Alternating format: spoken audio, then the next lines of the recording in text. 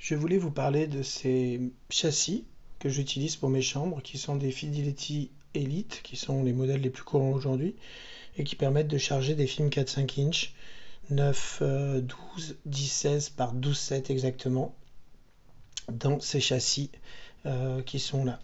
Donc la première chose à faire, ce qui est important, c'est bien entendu de nettoyer les châssis. Donc euh, il y a ceci qui est pas mal, ou avoir un petit compresseur, c'est peut-être encore mieux. Et ça enlève toutes les, petites poussières. Donc on va nettoyer ça le plus correctement possible. Ensuite, on va avoir besoin dans le noir absolu d'une paire de ciseaux, car à l'intérieur de cette boîte, on va retrouver une petite enveloppe qu'il va falloir couper, le bas, pour pouvoir récupérer les films à l'intérieur. Ce qui est important ensuite quand on récupère les films, c'est de ne pas mettre les doigts dessus et de faire attention au côté de l'émulsion. C'est-à-dire que l'émulsion doit être sur le dessus et on le reconnaît parce qu'on a un, crantage qui est ici, qui permet de reconnaître le type de film et aussi euh, d'être sûr de charger du bon côté, donc en bas à gauche, dans ce cas où mon châssis est positionné comme ceci. Donc mettre du côté blanc, ce qui veut dire euh, au préalable que les films sont vierges. Pareil, tourner, récupérer son film, le glisser dans le noir, toujours absolu dans une tente ou une pièce, et faire ceci. Ces films existent depuis les années 40-50. Hein. le grand photographe de presse Ouija les a utilisés sûrement dans ses Graflex.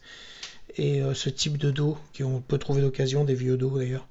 Ensuite, on va prendre un crayon et noter le film. C'est assez important puisque ça nous permet de, nous rappeler bien entendu quel type de film et on peut avoir plusieurs films avec nous. Donc euh, de ne pas se tromper. Et euh, voilà. Ensuite, on va prendre une petite chambre. C'est assez simple. On va le glisser à l'intérieur comme ceci. Voilà. D'aller bien au fond. Et ensuite, quand on va shooter, retirer donc cette partie, déclencher exposer et remettre le côté noir pour dire qu'il a bien été exposé. La même chose, on va retirer le châssis complet, le retourner, le repositionner à l'intérieur de la chambre. Pareil, retirer,